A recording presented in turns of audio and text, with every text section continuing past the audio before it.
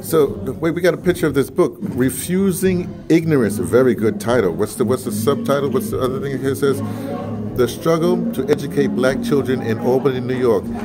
Uh, was that 1816 to 1873? Wow. They got a couple of folks on the cover. Tell me about this book. Tell me about this book. It was written by Marian Hughes. She spent 10 years in the Albany Records poring over original documents. And what it is, in, in inside of the book, you will see a uh, reproduction of the document in which this group of men, black men, petitioned the governor of New York for a school.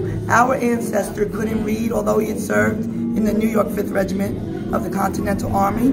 He couldn't read, but he wanted black children, his children, to be able to read. And so that back then we were colored people, and they that's who this school was for, black children. And um, she, this was a uh, she was the uh, professor, well, no, she was the president of Albany University. Mm. And she took it upon herself to write this book.